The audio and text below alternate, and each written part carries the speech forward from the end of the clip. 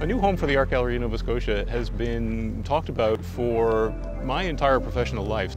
So this project to finally see it brought to the waterfront is going to be one of the most significant cultural changes to the landscape of, of Nova Scotia uh, in my lifetime. To meet this challenge, we're thrilled to be able to team with Diller Scofidio and Renfro. The AGNS has a truly ambitious mission to make art accessible to all and to bring out the voices of provincial artists working today. At its waterfront home, it will have brand new opportunities for expanding programming and outreach, and it will greatly extend the city's public space and cultural offer.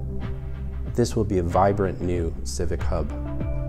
We imagine the new AGNS as an anti-institution, an open and democratic place that catalyzes new forms of cultural life at the Halifax waterfront. The building will have a commanding presence on the water's edge, and while grounded in its particular place and history, it will feel new, providing a space to convene, learn, and exchange ideas in a place where the most challenging contemporary issues are being confronted through the medium of art. The new AGNS will be radically inclusive, uninhibiting, and welcoming to the widest possible audience.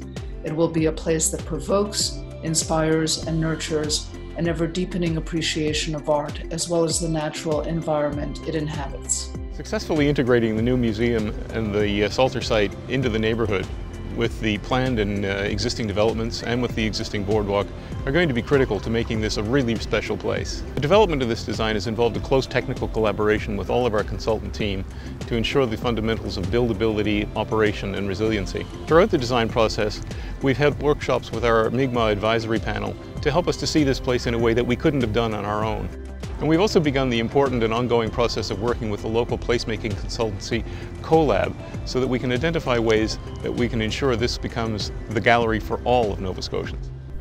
We envision the Salter Block as a continuous public space, stretching the entire site from the lower Water Street to the boardwalk, extending north over Salter Street to the foundation block. The AGNS building will touch the ground lightly, lifting the galleries up on beautiful tree columns for the space to flow freely below it. This approach will protect the sensitive artwork from flooding on the pier due to climate change, and it will open up the street level to a gracious and welcoming urban living room, part of the public realm and its programming. The galleries above will form a village-like arrangement of different kinds of spaces, large and small, some with daylight from the top, some with expansive views out to the city and the water. The shoreline will be transformed into a semi-natural edge, pushed and pulled along its length to create fingers of land that extend out into the water and allow inlets of water into the land to create beaches and saltwater marshes. This restored semi-natural coastal edge will provide a variety of experiences, allowing visitors access and views to this dynamic waterfront that recalls its indigenous past, prior to the landfill that created the industrial port. Not only will this living shoreline be beautiful, but it creates an inherent resiliency with a bioengineered soft edge and planting that thrives in the tidal fluctuations, making legible the natural ebbs and flows of the sea, habitat for diverse flora and fauna, as well as people.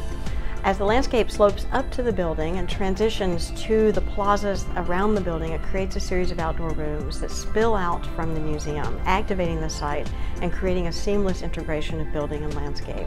These outdoor spaces will host day-to-day -day uses as well as gathering and events and create a destination that is welcoming to all in all seasons and for one and for many.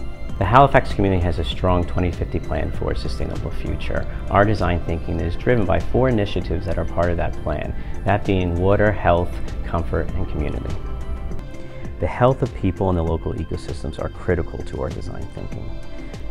We have integrated a floating gallery habitat that serves as a place to showcase art as well as remediate oysters, mussels, and kelp colonies at the water's edge. Then along the building's perimeter, we have designed a living machine wetland that actively treats the gray water from the museum before allowing it to enter back into the harbor waterway. Today, building enclosure systems can interact with the environment and develop mutually beneficial relationships between our human conditioning systems and the natural environment.